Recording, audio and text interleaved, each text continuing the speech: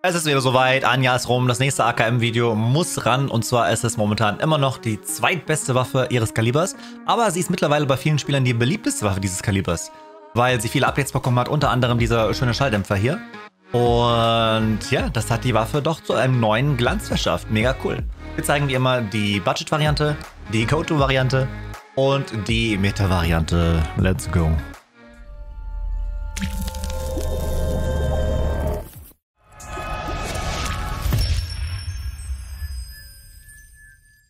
Die AKM gibt es für 43.000 Rubel bei Prapor zu kaufen. Äh, Unterschied zum letzten Jahr, ganz, ganz wichtig, achtet jetzt auf die Haltbarkeit.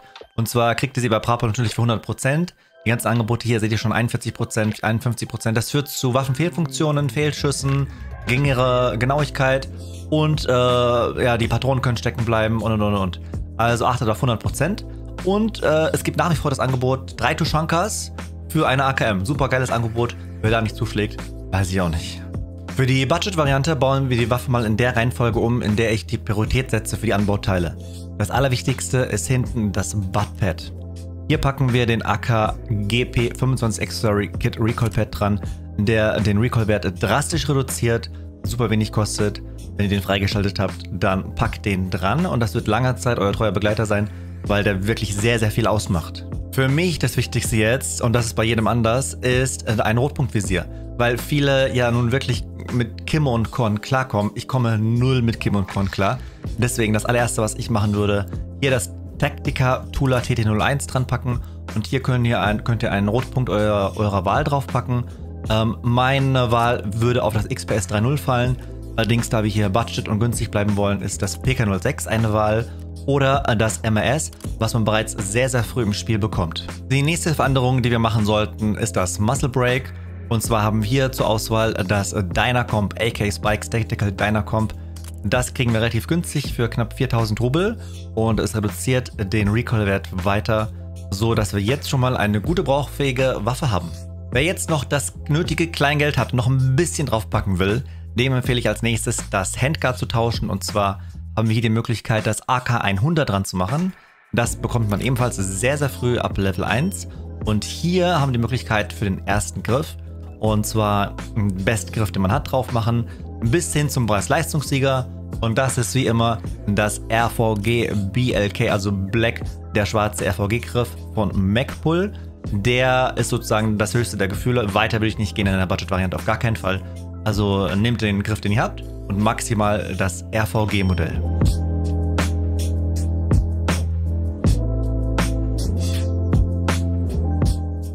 Machen wir jetzt das Upgrade auf die Go-To-Variante. Und zwar die Go-To-Variante ist der Preis-Leistungssieger ähm, in dieser Klasse und gleichzeitig eine Questwaffe. Wir brauchen nämlich relativ früh die AKM schallgedämpft für die ersten Questreihen.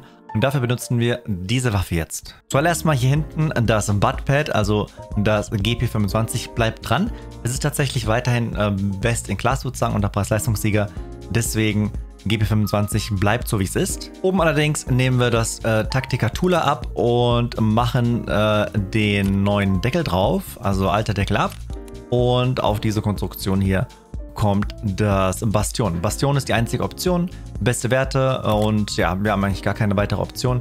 Ich setze hier mal das EKP 8 drauf. Mit dem Cobra Visier haben wir hier eine schöne Variante, wo wir nochmal einen kleinen Ergo-Boost kriegen.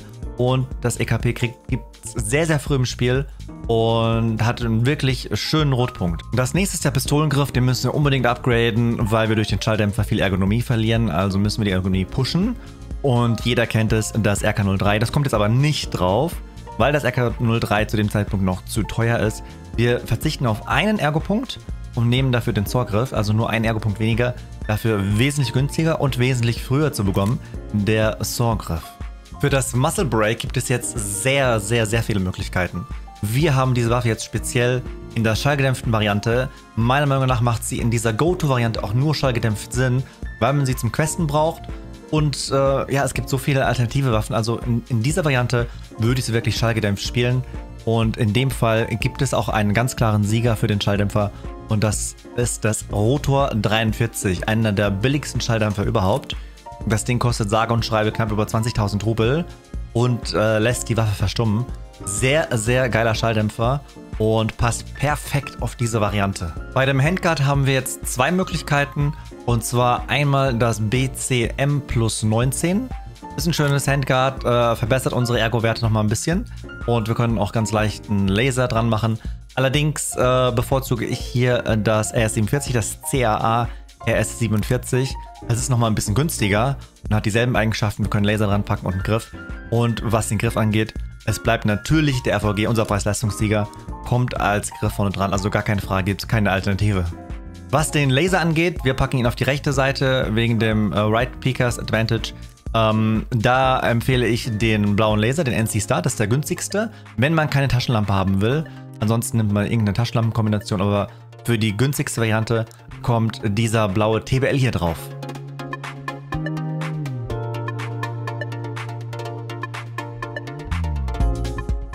Kommen wir jetzt zum Hauptgang und zwar der Meta-Variante. Bei der Meta-Variante kommt eigentlich fast alles ab, außer der Deckel, den lassen wir dran.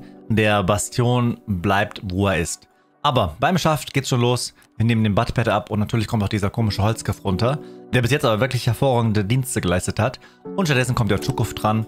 Ganz einfach, kein Adapter, kein Buffer-Tube, gar nichts. Einfach der Chukov ist momentan best in Slot. Bei dem Griff hätten wir früher auf den RK3 bzw. das Pendant, dem Scorpius und dem US Palm Grip äh, aufgerüstet. Wir haben aber mittlerweile noch eine bessere Variante und zwar das AGS äh, 74. Hier kriegen wir nochmal zwei Ergo-Punkte mehr als beim RK3.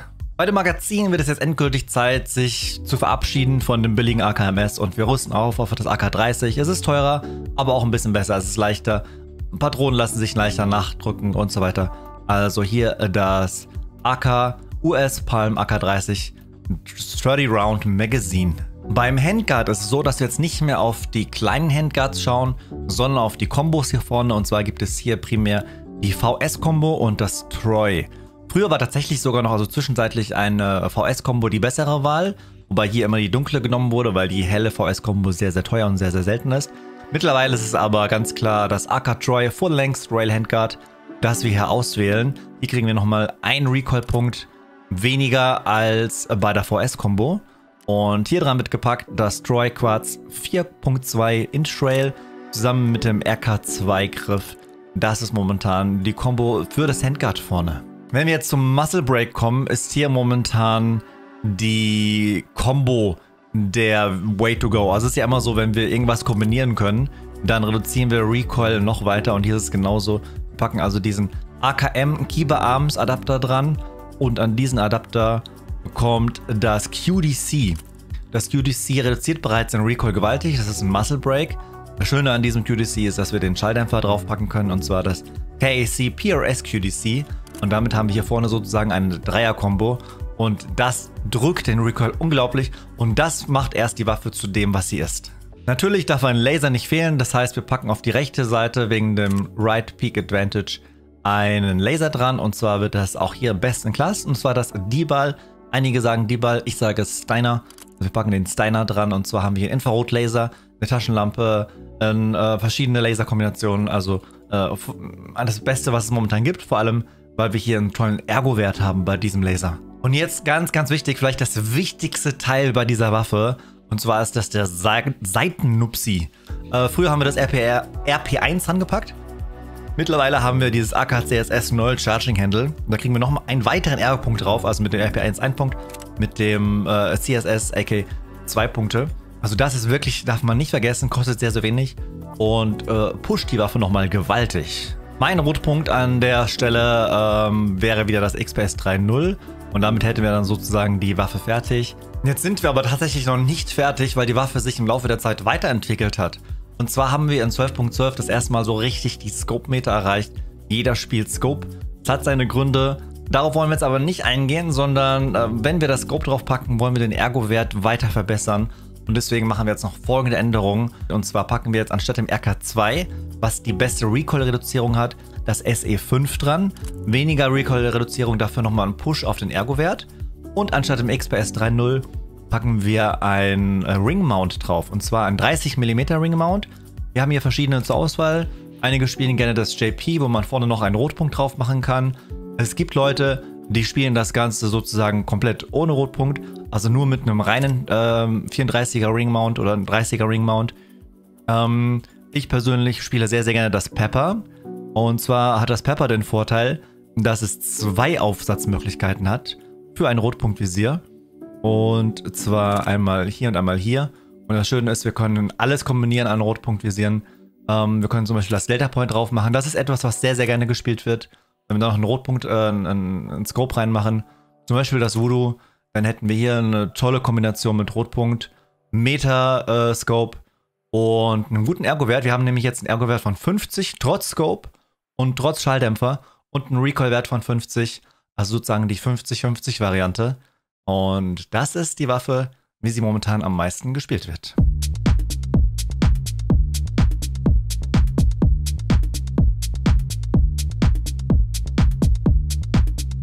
Damit ihr die Waffe auch mal im Einsatz seht, hier eine kurze Runde auf Customs mit dem SE5 Griff in Kombination mit dem XPS 3 0 Rotpunktvisier.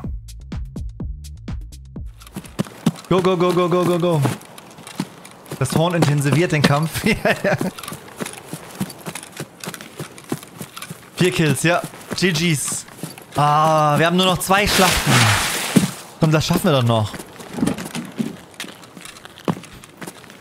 Wie geht's dir, Pauli? Alles fresh?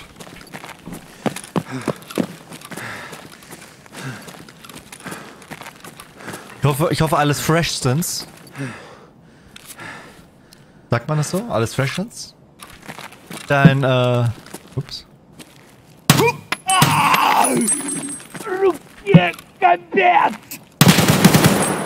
Oh, das sind mehrere. Кто, блядь, такой?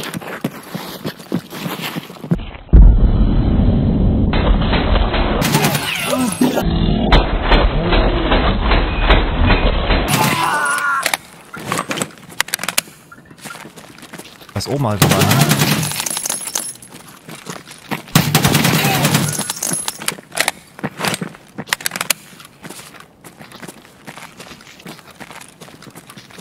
Und links. Oh, Treppe, Spieler.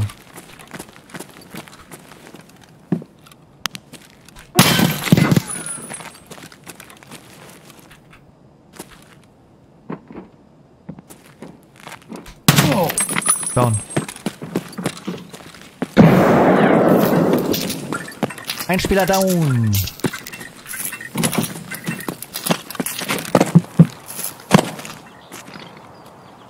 Warte, warte, warte, warte, warte. Es wird spannend.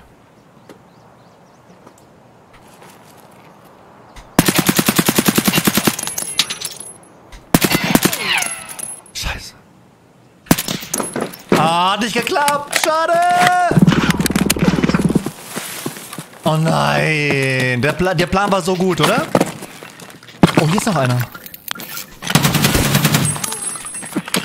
Oh, lol. Was ist denn hier los?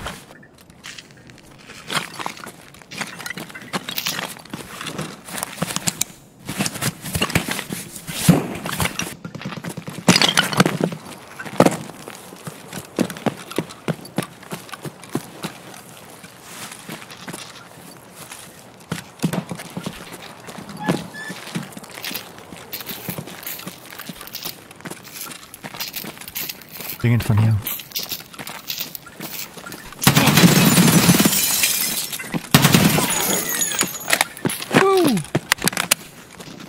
Ich meine, das noch einer. Ich glaube, ich habe was gehört. Meine Korunte von komplett am Arsch.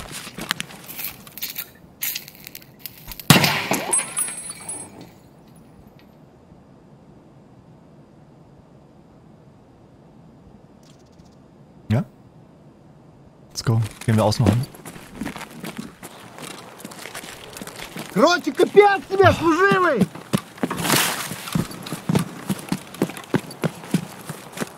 Ah, dann, dann, dann ist es nur der Scuff. Das ist nur der Scuff.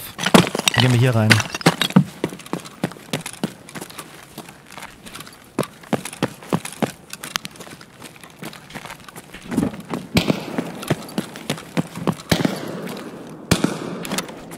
Kriegen Besuch, müssen uns ein bisschen beeilen. Вот!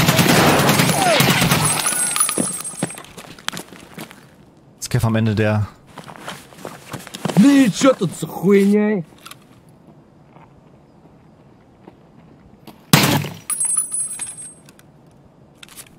The shit?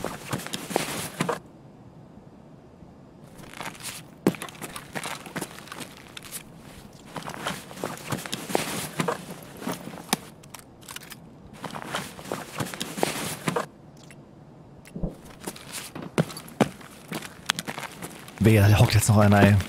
Gibt's sowas von Ärger? Ja, hier in die Ecke, in die Ecke.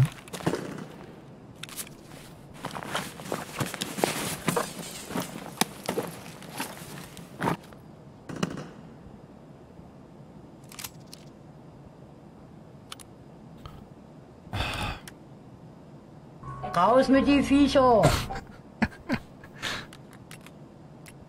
Raus mit den Viecher. So, ich glaube, wir haben alle, oder?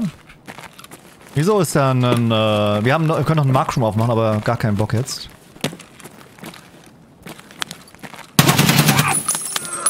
Gott, shit, wo kommt der denn jetzt noch her? Okay, komm, go, go, go, go, go. Go, go, go, go! Oh, da echt mein VIP-Wagen. Äh, oder ist nur ein Bait. Aber mir egal, wir gehen weiter. Sawai Machi! Shit.